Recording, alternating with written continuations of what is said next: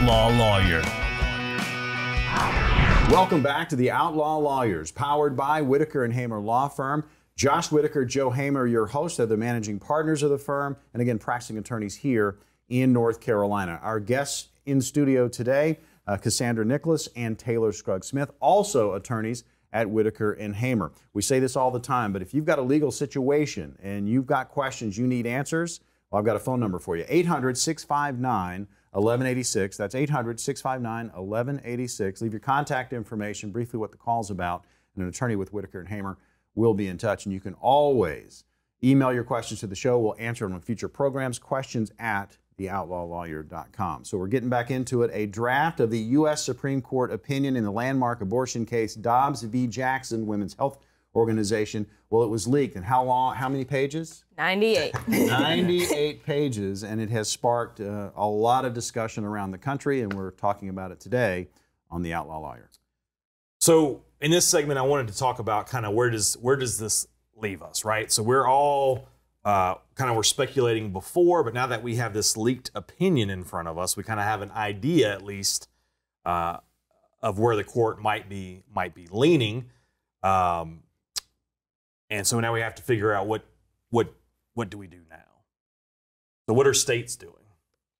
So a lot of the states, in reaction to this, are creating laws and even constitutional amendments in California's case to protect the right to abortion in their states to essentially become haven states for abortion, especially states that border other states with these trigger laws where it'll immediately become illegal to have an abortion. Um, so a lot of those trigger laws create criminal penalties for women that are seeking abortions. Um, Some of them for the doctors that perform them. yeah. So, like manslaughter charges. So, the other states that are reacting to this, uh, that are becoming haven states, are creating protections for those women to be protected from prosecution if they come for an out of state abortion.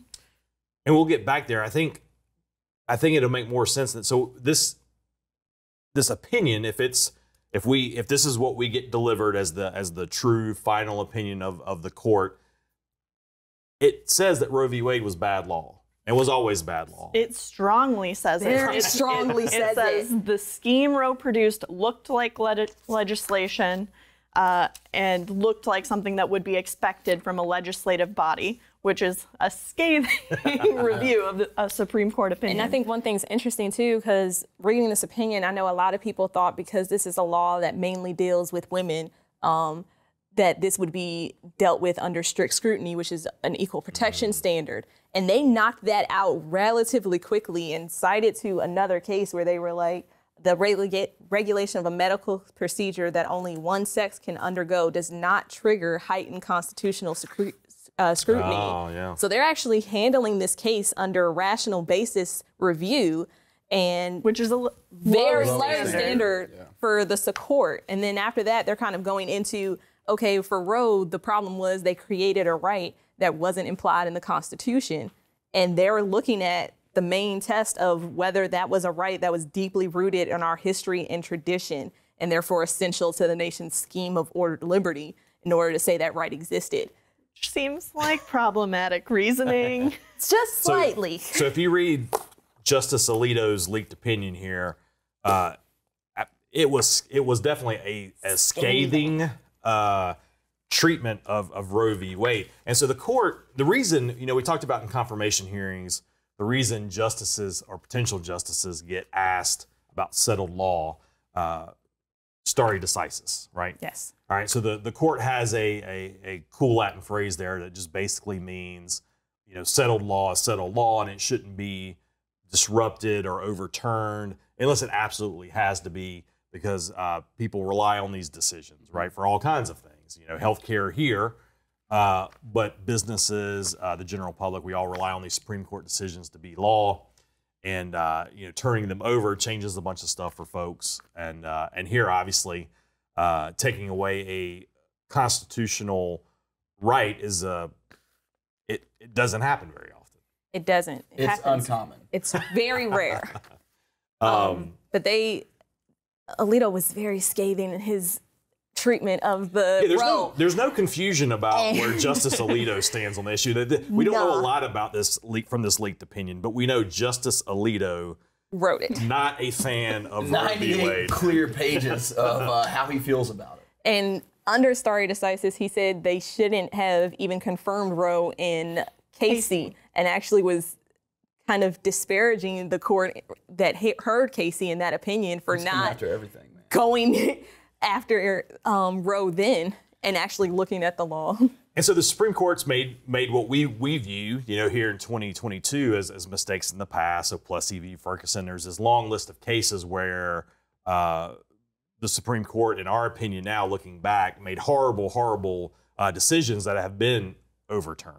So it's not that law settled law can never be overturned. Right. In fact, it should be. You know, if it's bad law, Yeah. I think the argument is it should be overturned. But you should always stare decisis. You should always not do it right unless unless Lightly. you Yeah, have it's to. not. you You, should don't take do it it very willy seriously. Is that the, the way to look at it? Yeah. Because the main, you know, uh, a lot, a lot of folks in the media, you know, we've been very critical of the court over the past four or five years. The process to become a justice is very political. Uh, you know, arguably it shouldn't be, but but here we are, and it is. Um, so getting a, a justice nominated and, and confirmed, um, very political, uh, always covered uh, very intently.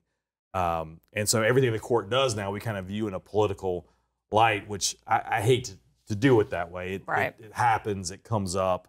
Um, but anyway, so if the Supreme Court is going to say that that that women, American Americans, don't have a right, a constitutional right to abortion, then that leaves it up to the states, right? That leaves it up to the federal government or the state government to do something. So the the Supreme Court is not saying uh, abortions should be illegal. Uh, this is a big step if they if they do in fact say abortions are not a constitutionally protected right, because then that leaves it open to every state to interpret, Congress to interpret. And so when we were talking about trigger laws, a lot of states have taken the step to say, hey, in this state it'll be 100% illegal, right? And then other states, like you said, New York and California, are going out of their way to mm-hmm. say not only will it be legal for, like I think I saw New York's governor say, not only will it be legal in New York, but anybody who needs this come to New York. And I think that's what you protected. see ultimately is it's just going to be more difficult for a woman who wants to get an abortion to get an abortion if this is how it all plays out. But at any at any moment, and this is what the court, I think this is what Alito's saying. You know, we've had all these cases, and every year we have to kind of decide. And and the court is not a legislative body, right? And I think, and maybe Alito got this part right. I don't. I'm not going to say I agree with everything Alito did, but he said this is a matter, you know, that needs to be. Your elected officials need to take care of Sure. this. Right. And elected officials let us down a lot, which is why we have the court, right? We have we have folks who have a lifetime appointment um, who can kind of look at this. But if it's going to be left up to elected officials, then that's the scheme that we're stuck with until someone acts. And it could be left up to elected officials in the states, or it could be handled by elected officials in federal Congress Mm-hmm. as well, that they could actually implement something to take care of this at a national level.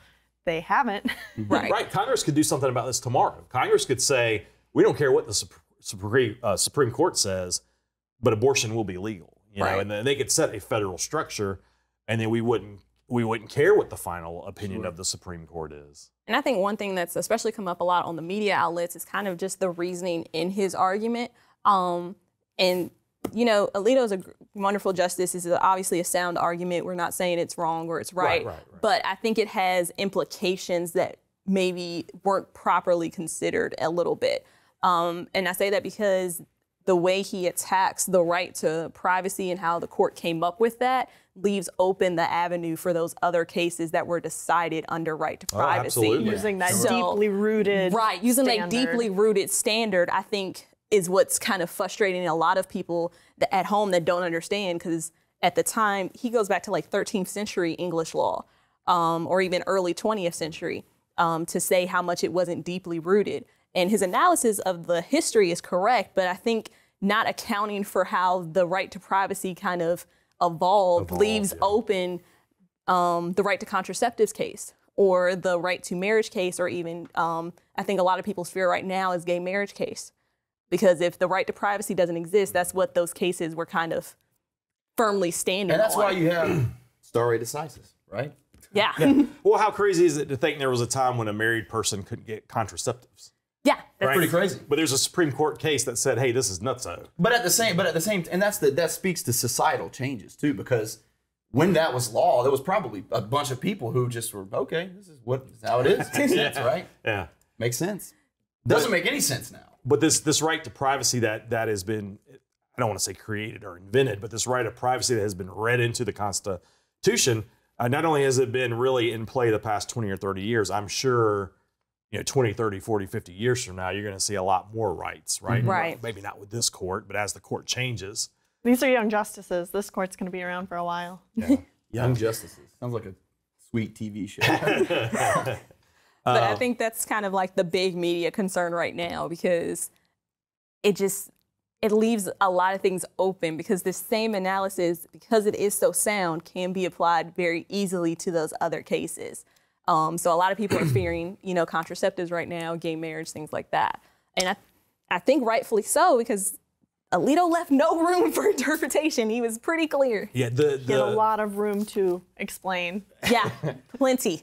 Yeah, and I, th- I think that's why we haven't heard anything because this is what he's been doing for like hundred days. Like since oral arguments, he's just been writing maybe a page a day. Yeah, he He's even- not watching Holy Moly, man. No, he's not enjoying holy moly with Yeah. his family. Like he even has a case, I mean, a law from every state in the 1800s saying Yeah, abortion that. was Yeah, that appendix illegal. is probably the most The- entertaining part of the He, whole. lot. Alito keeps saying there's 26 states that have asked the Supreme Court to uh, overturn Roe v. Wade, and so 26 states would be half half the union, not half the population, but half the union.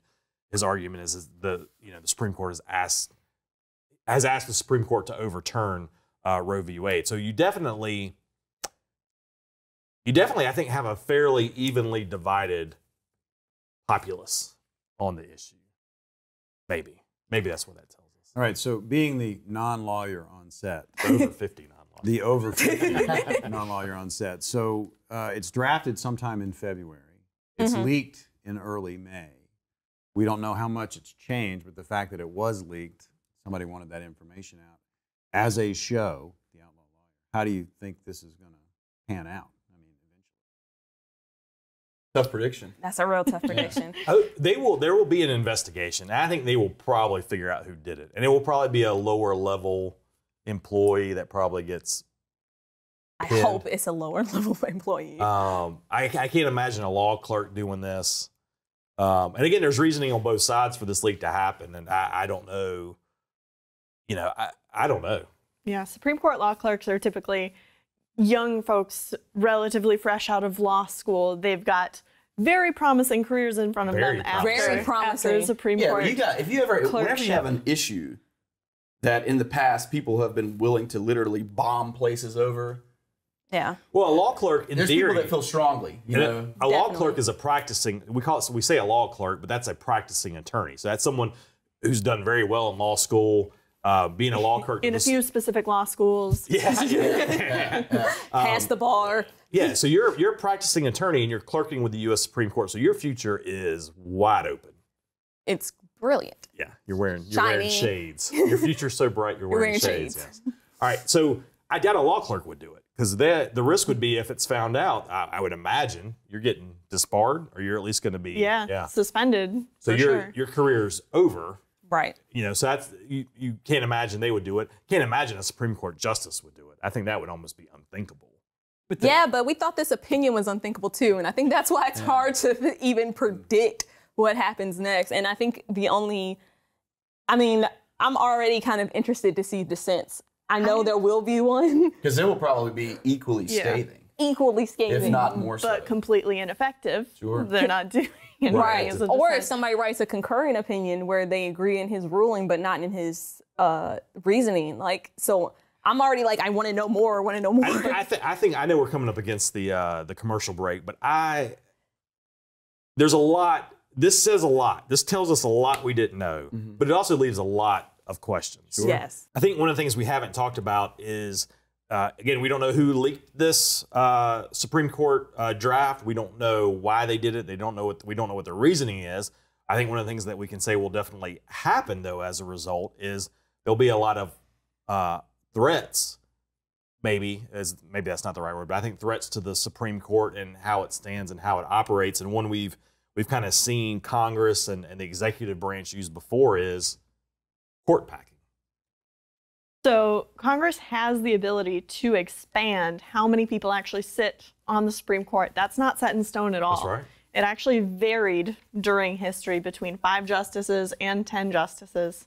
It's been sitting at nine justices since 1869, uh, but that could absolutely change. And I think the last time it was really, I guess I'm going to use Josh's words of threatened, Yeah. the- but was, I believe, around FDR's New Deal um, when it was coming out that they might overturn all of his New Deal procedures and But if you programs. double the size of the court and add like eight new liberal justices, that would absolutely change the outcome of every case going forward. And I- Definitely. and I think this issue is important enough to enough people, um, as long as as long as uh, let's say I guess it would be Democrats. So if there's enough Democrats in Congress, if there's enough Democrats in power, and I would say probably there's some Republicans too that I think would be aggravated with with what's transpiring. So if you have the support and you could nominate and confirm, what's the Supreme 16? What's the limit on the total? I don't remember what the limit is on the total justices that that the executive branch. don't remember I, I feel like it's 15 or 16. I don't know what it is either, but you were like you said. Here's eight new or seven new or however many Right. uh, liberal-minded justices. So now the conservative, you know, majority of five or six is a five or six minority. but the Senate would need a vote of 60 people unless they get rid of the filibuster, and then they only need 50. And I haven't looked. I know we're coming up on midterms. I don't know. You know, we're pretty evenly divided Senate right now, but something like this uh, being leaked at this time and that being thrown out there uh, might motivate some bases to get out there and vote. And I think one thing we should add too is that I know a lot of people are wondering what uh, the newly appointed Justice Jackson's opinion is on this, and I think it's kind of important to note that she's not in this case. So she's That's not. right. She's- it- she's not a- a, vote. She's not can't write an opinion on it. She's not on the court yet. So she has this really long wait period. Um, that they're like, wow, it may be a really long wait period, but she's not on this term. The Outlaw Lawyers, another one in the books. Josh Whitaker, Joe Hamer, your host, the managing partners at Whitaker and Hamer Law Firm. Our special guests this week, Cassandra Nicholas and Taylor Scruggs Smith, also attorneys at Whitaker and Hamer. If you've got a legal question, give them a call, 800 659 1186. That's 800 659 1186. And you can email your questions to the show, questions at theoutlawlawyer.com. We'll see you on the radio and on YouTube next week.